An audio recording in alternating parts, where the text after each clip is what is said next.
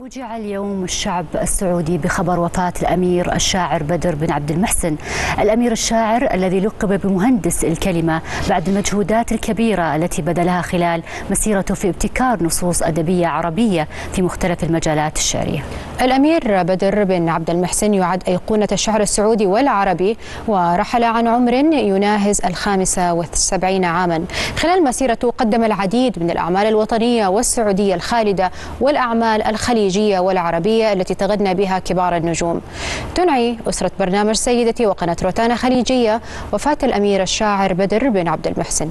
ونقدم التعازي لمقام سيدي خادم الحرمين الشريفين وسمو ولي العهد الأمين وجميع الأسرة المالكة.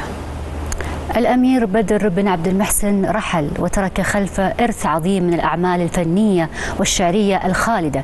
ووفاته كان لها تأثير كبير على الجميع. وشفنا هذا الشيء من خلال مشاعر غرد فيها عدد كبير من الشخصيات والمسؤولين منهم وزير الثقافة الأمير بدر بن فرحان ووزير التجارة ماجد القصبي ورئيس الهيئة العامة الترفيهية تركي آل الشيخ وغيره من العديد من المسؤولين من المملكة والوطن العربي.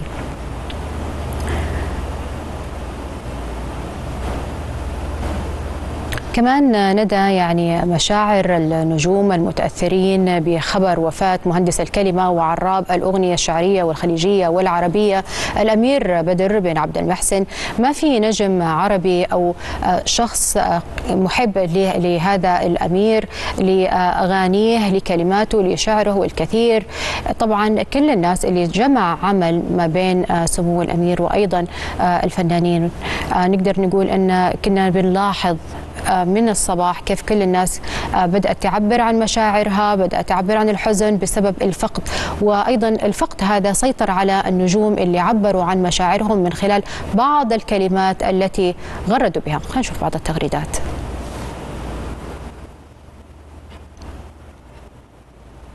طبعا زي ما إحنا شايفين أغلب ال ال الناس يعني خلينا نتكلم عن الأمير بدر بن عبد المحسن. بطبيعة الحال من الشخصيات المحبة وكان لي مكانة خاصة عند الفنانين بسبب الأعمال اللي جمعتهم خلال هذه المسيرة الطويلة. شفنا تغريدة للفنانه أحلام لعباد الجوهر وأيضا الفنان راشد الماجد والكثير الكثير. دائما كنا نقول إن الشعر قبل بدر عبد المحسن مختلف. عن طبعا يعني ظهوره وأيضا غيابه عن الساحة الفنية حزينين جدا متأثرين جدا ولكن يعني سبحان الله هي هذه الدنيا يروح الإنسان ويبقى الأثر الطيب وتبقى الذكرى خالدة في قلوب جميع المحبين. أكيد. طبعا أكيد ينضم لنا الشاعر نايف صقر حياك الله معنا نايف. يا هلا وسهلا الله يسلمك. في البداية طبعا نعزي نعزي نفسنا ونعزيكم طبعا بوفاة مهندس الكلمة الشاعر بدر بن عبد المحسن، ما هي مشاعرك بعد سماعك لهذا الخبر؟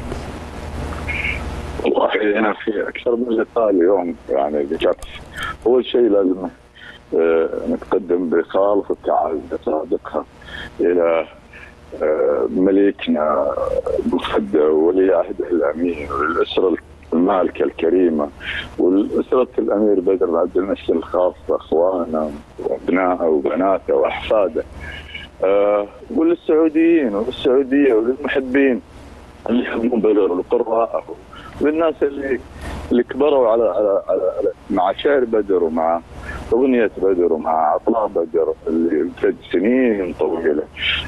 بدر بعد المحسن بفقده افتقدت الثقافة السعودية، افتقدت الكلمة السعودية، افتقدت الموسيقى السعودية. رائد كبير ورمز جليل يعني مر في تاريخ السعودية لكن ما مر مرور الكرام مر مرور العظماء المبدعين المتالقين اللي اللي راح يظلون لسنوات ولعقود طويلة. للأثر اللي تركوه في وجدان الناس الحب اللي تركوه في وجدان الناس. بدر بن عبد المحسن يعني مشروع هو اشتغل على على مشروع كبير مشروع الكلام الكلمة. مشروع مشروع الإحساس مشروع الفن مشروع الإبداع. فهو كان يعي قدره من سنوات طويلة جدد وابتكر وغامر في مجال الكلمة والإبداع والشاعر ملهم شاعر متعدد متعدد المهارات. ماهر. فعلا كلمة مهندس الكلمة يعني ما أدري من الصحفي أو أو أحد اللي يعني أطلقها على على بدر عبد المحسن. فعلا بدر عبد المحسن كان كان كان يكتب الشعر بمعادلات معادلات تخصه برؤية بأهداف كان يشتغل عليها ولما ولما يوصلها كان ينقل أهدافه لمراتب أعلى، ينقل الكلمة، ينقل ينقل الأغنية السعودية، الشعر السعودي المعاصر آه نعم. بدر بدر شخصية يعني شخصية وطنية آه آه كانت تمثل السعودية ب ب ب بطريقة يعني عظيم وبحضور بحضور كبير وباثر يعني باثر باثر تجاوز تجاوز السعودية والإقليم اللي إحنا فيه للعرب حتى اللي في المهجر يعني. نعم أستاذ نايف يعني أنا ودي أسألك يعني طبعا لا غبار آه، يعني على آه، طبعا هذا الشاعر سمو الأمير آه، بدر بن عبد المحسن. ولكن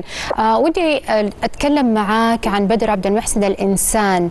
إذا في مواقف تذكر لنا إياها جمعت بينكم؟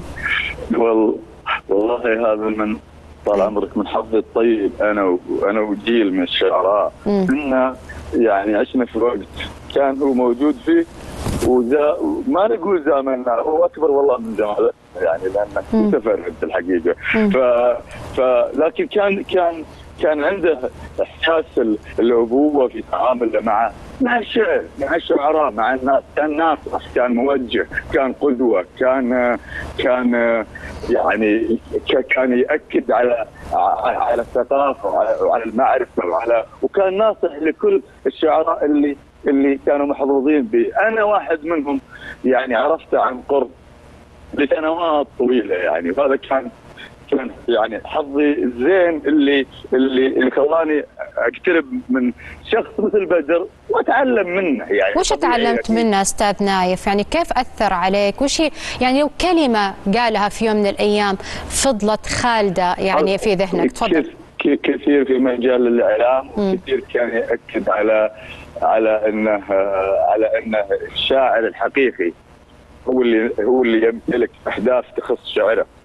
فهو كان يطبق هذا هذا الشيء غير طال عمرك أنا سبق إن يعني يعني قابلت الأمير بدر خارج السعودية، أنا أعرف حضوره في السعودية وأعرف بس بدر كان يعني في في في, في السعودية بقليل الاحتكاك مع الناس انه شيء مشهور ونجم وانت عارف. نعم. فكنت كنت أقابله برا وكنت اشوفه لما يحضر في محفل ولا ولا في أمسية.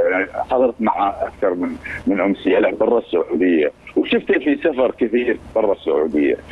بدر بعد المحسن لما يحضر في في مكان.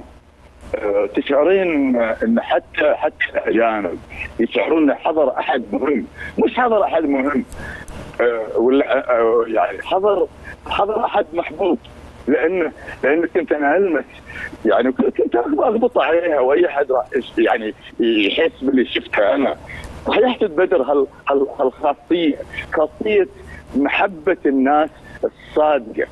المحبة اللي اللي اللي لما يقابلونه الناس طال عمرك تحسين في في داخل عيونهم وفي كلامهم حب لهذا الرجل. ومرات تكون مثلا هذه المقابلة أول مرة. نعم. وش هالك وش هالحب اللي هو تركه في في في أذهان وفي قلوب الناس عشان هو يحظى بالحب اللي أنا شفته وهو لمسه من, من الناس وتمتع في محبة الناس نعم. وفي حضوره وفي جماله في في في نفوس الناس بدر آه، يسري يسري المكان صحيح. أثر الشعر أثر أثر الأغاني أثر الشعر الوطني أثر الوطنية في نفوس حتى حتى السعوديين من خلال اعماله الوطنيه الخالده اللي راح تظل شاهد نعم. على شاهد على تميز وتفرد. هذا الشاعر نعم. السعودية راح تظل فخورة لسنين طويلة واللغة اللغة نفسها العربية راح يعني راح تفتخر بدر عبد المحسن. لأن أقرب الشعراء للغتنا. يعني اشياء شعرنا أشياء الجمال أشياء الحب أشياء آه يعني تستقبل الدنيا بدر عبد الشعر نعم. نحن أكيد نشكر مداخلتك ووقتك معنا اليوم آه، الأستاذ نايف صقر. شكرا جزيلا لك. طبعا يعني بالحديث عن هذا الموضوع والفراغ الكبير اللي طبعا تركه الشاعر الأمير بدر بن عبد المحسن ترك فراغ في الفن والوطن. فجعت الساحة الثقافية والأدبية بوفاة أحد أبرز الشعراء والفنانين في المملكة العربية السعودية. الأمير الشاعر بدر بن عبد المحسن مهندس الكلمة. ترك الأمير بدر بن عبد المحسن بصمة عميقة في عالم الشعر والأدب العربي حيث كانت قصائده محل تقدير واعتزاز من قبل الجمهور والمثقفين على حد سواء. وقد عرفت أغانيه بالجمال اللغوي والموسيقى المتقنة التي ترافقت معها. يا عازف الأوتار داوين بالأشعار قل لي قصيدة عشق. فيها فيها المطر والنار وأنا عليل الروح كثر الورق مجروح. واللي يحب بصدق وتنزف جروحه صدق. تعد وفاة الأمير بدر بن عبد المحسن خسارة كبيرة للمشهد الثقافي والأدبي في المملكة. حيث فقدت الساحة الثقافية إحدى أعمدتها الرئيسية وروادها البارزين. بهذا نودع الأمير الشاعر بدر بن عبد المحسن الذي غادرنا تاركا خلفه إرثا ثقافيا عظيما يظل خالدا في قلوب محبي الشعر والأدب. لا تلوح للمسافر. المسافر راح. ولا تنادي يا المسافر. المسافر راح. يا ضياع أصواتنا في المدى والريح. القطار وفاتنا. والمسافر راح.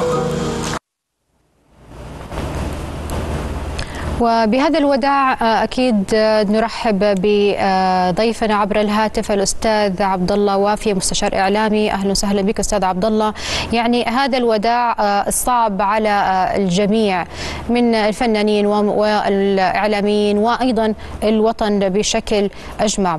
ودي أسألك يعني أول ما قرأت الخبر إيش هي مشاعرك؟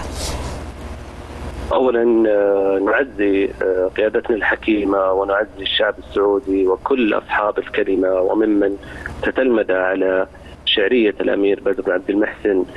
آه، لا نقول إلا أن العين لا تدمع وإن القلب لا يحزن وإن على فراقك يا بدر لمحزونون. ولا نقول إلا ما يرضي ربنا إنا لله وإنا إليه راجعون. نرثيه ببيت الشهير الذي انتشر في مواقع التواصل الاجتماعي. قبلة أنوار الشوارع وانتفاضي الحروف. آه بدر بن عبد المحسن كان شجاعا في مواجهة الموت وفي أزمته الصحية الأخيرة وجه رسائل كثيرة ومن ضمنها قصيدته التي آه كتبها لأخوه سعود. وفيها البيت المعروف اللي تداولوه في مواقع التواصل. ولا بدها يا سعود تغيب شمسي. في سنة رب الخلائق فرضها بدر عبد المحسن حتى في مواجهة الموت كان شجاعا وعندما سألوه عن الموت رد بالقصيدة يا سيدي ماني من الموت خايف من يعرف الله حق ما يعرف الخوف. يجزيك عن الرب إذا الصحايف ويبني لك في جنته جدران وسقوف نسأل الله أن يرحمه وأن يسكنه فسيح جناته. لهذا المصاب الجلل لشاعر كبير وعظيم مهندس كلمة وأيقونة من أيقونة الشعر السعودي. اللهم آمين. طبعا أكيد أستاذ عبد الله بحكم خبرتك يعني في مجال الصحافة الفنية والثقافية، أكيد يعني جمعتك ذكريات أو مواقف مع الراحل، ممكن تكلمنا عنها؟ طبعا الأمير بدر عبد المحسن شخصية مهمة وهو هدف لأي صحفي أن يحظى بلقاء مع الأمير بدر عبد المحسن أو بتصريح منه. جمعتني مواقف كثيرة مع الأمير بدر المحسن من خلال عملي الصحفي ومن آخرها كان في معرض الكتاب في ندوة له بعنوان أسئلة الشعر والفن وأدارها صديقه الشاعر محمد جبر الحربي. كان حضورا جميلا ومختلفا وكان يجيب على الجميع ويقف للجميع ويتصور مع الجميع بكل حب وتواضع. أيضا في المعرض السابق ولعلي أشير للمبادرة وزير الثقافة عندما أمر بجمع الأعمال الكاملة للامير بدر عبد المحسن ووقعها لجمهوره.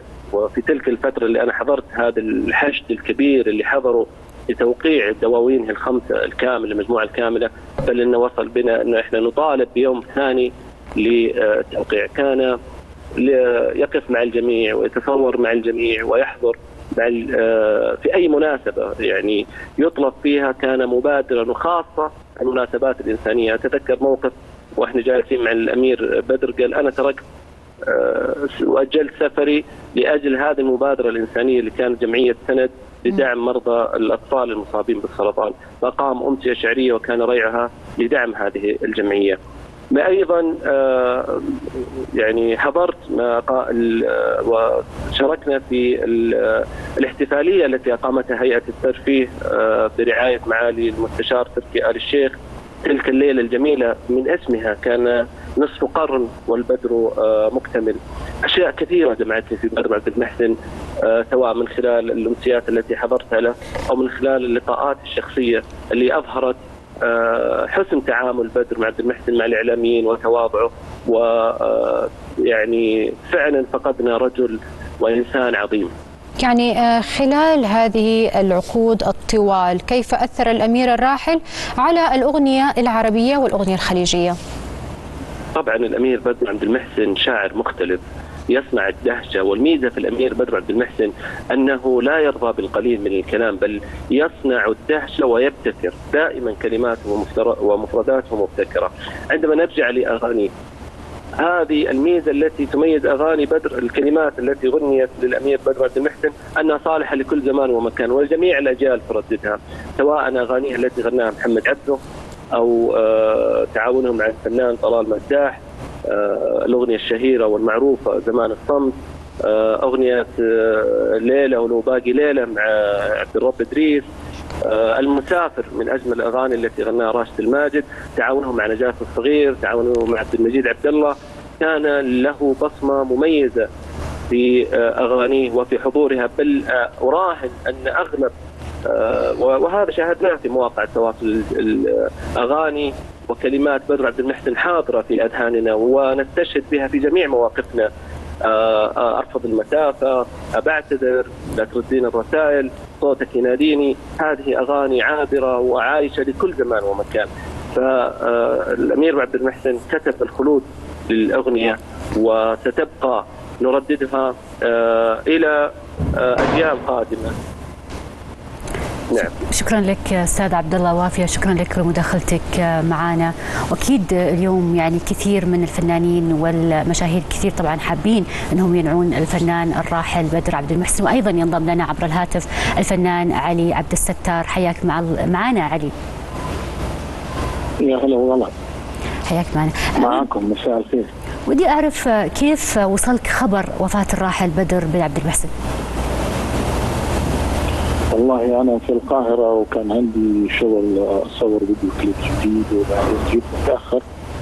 وبعد ما صحيت شفت وسائل الإعلام يعني والمنصات كلها طبعا تتكلم عن هذا الخبر الأليم الحقيقة والحزين على قلوبنا جميعا. فقرأت على روح الفاتحة رحمة الله عليه.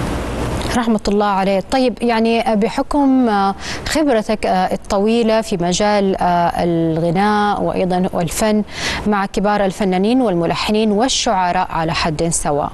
اليوم لو راح أسأل الفنان علي عبد الستار عن أبرز المواقف اللي جمعت ما بينه وما بين الشاعر بدر بن عبد المحسن. والله أنا تشرفت في الحقيقة باللقاء ومشاطرة الحديث الشيق معه ونصائح الحقيقة. كنا في مسرح كتارة في الحي الثقافي في قطر. آه، طبعا آه، ما في شك إن هناك كانت ليلة كارثيه آه، استدعي سمو الأمير آه، رحمه الله تعالى عليه. آه، ف آه، غنوا طبعا مع نخبة كبيرة الحقيقة كذلك من نجوم الغناء العربي كما نقول الصحوه الخليجي بصفة خاصة. نعم. وغنوا مجموعة كبيرة من أشعاره وأغانيه وأنا حظيت الحقيقة وكان شرف كبير لي المشاركة والجلوس معه و والحديث عن الذكريات وعن الكلمات اللي أعتقد هو يعني يعتبر أيقونة الشعر الحقيقة أكيد طبعا. شاعر آه، بمعنى الكلمة المفردات آه، وصياغة المفردات اللي هو يستعملها طبعا. ما أعتقد أي إنسان وأي شاعر يستطيع أن يرتبها يعني بالطريقة المترادفات في الكلمة يعني. صحيح. طبعا إحنا نعرف إنه ال- الراحل أثر أو آه، وضع قيمة كبيرة للشعر لكن خلينا نتكلم على مستوى الأغنية العربية أو الخليجية. كيف قدر يأثر فيها آه، الراحل بدر بن عبد المحسن؟ والله طبعا آه، اللي قبلي يعني الضيف سبق وقال كلام طيب. ما أقدر يعني ما في شك إن من جمال كلماته إن جميع فنانين الوطن العربي والخليج ممنون. وأنا أعتقد الكلمة اللي عند سمو الأمير بدر بن عبد المحسن رحمه الله آه، لا لا توجد الكلمة عند أي شاعر آخر. آه، يظهر وكذلك يعني في الحزن يم- يمثل الحزن بكامل آه، مواصفات الحزن. وفي الفرح آه، يعطينا البهجة والسرور والتفاؤل والطاقة الإيجابية دائما من خلال كلماته. يعني آه، بالحديث عن هذه المدة الطويلة آه، الشخصية المحبوبة ما بين الجمهور والمحبين والفنانين على حد سواء قصص كثير مواقف كثير لكن يعني من وجهة نظر الفنان علي عبد الستار إيش هو سر محبة ال- الناس والأغلبية لهذه الشخصية المتواضعة المحبة للخير؟ والله ما في شك أول شيء مثل ما قلتي تواضع ثاني شيء رقية.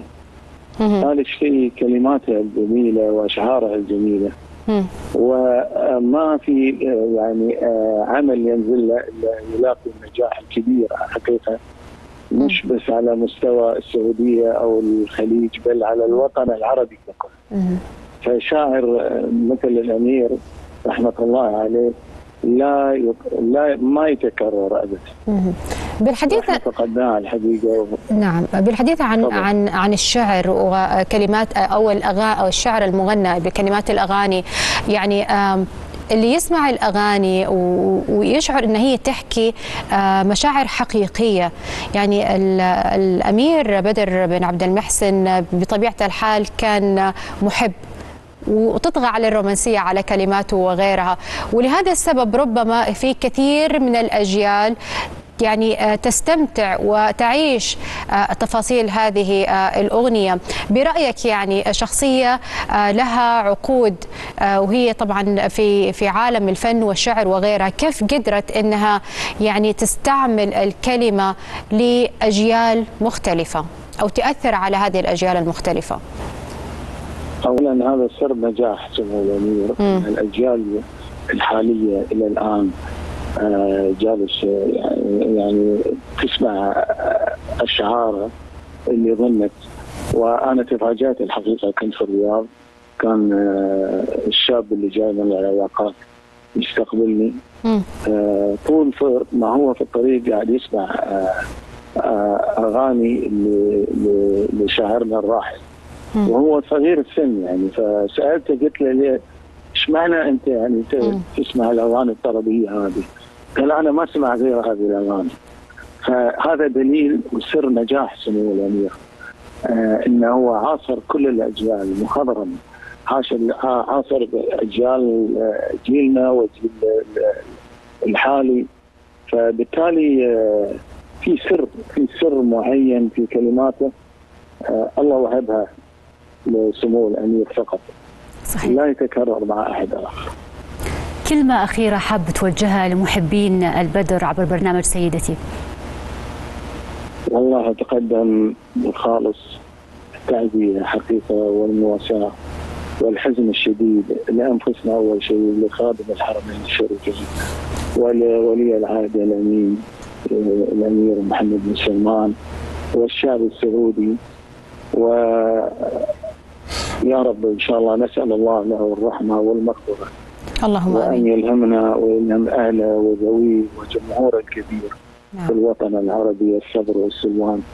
ونقول إنا لله وإنا راجعون. أكيد نشكر وقتك ومداخلتك معنا الفنان القدير الأستاذ علي عبد الستار. شكرا جزيلا لك مشاهدينا مستمرين معكم ولكن بعد الفاصل.